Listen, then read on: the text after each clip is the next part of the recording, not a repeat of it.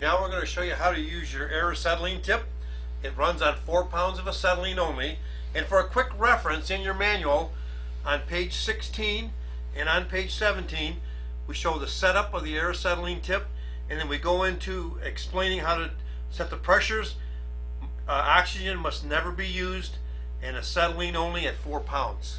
So let's get it set up and let's try it out. First thing I'm going to do is remove the tip shank so your wrench comes in your kit. Go ahead and just snap that loose.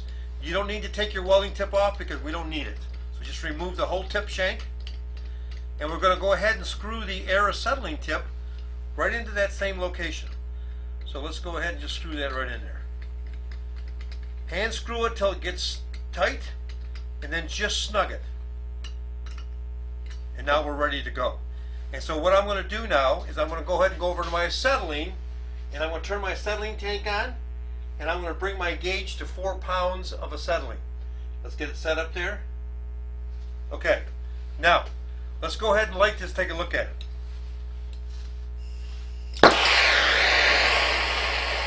So again, this runs 450 degrees Fahrenheit up to about 1,000 degrees. I can do body leading and soldering. I can go up to silver brazing with it. All I have to do is adjust my acetylene to get more heat out of it.